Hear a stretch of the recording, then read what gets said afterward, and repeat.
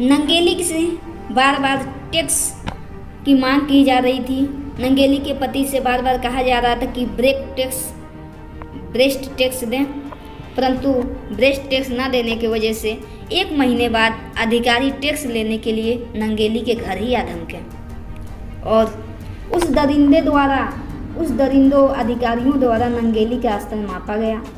स्तन का माप देने के बाद नंगेली शर्म से घर के भीतर गई और चाकू से अपना दोनों स्तन काट ली। काट कर केले के पत्ते पर लेके स्तन को बाहर आई। यह दरिंदे टैक्स अधिकारी को देखकर होश उड़ गया। और वह डर कर भाग गए। कुछ देर बाद ही नंगेली उस पीड़ा, उस कष्ट से मर मर गई। लेकिन उनके इस साहसिक कदम ने समाज की अन्य महिलाओं की हिम्मत बढ़ा दी।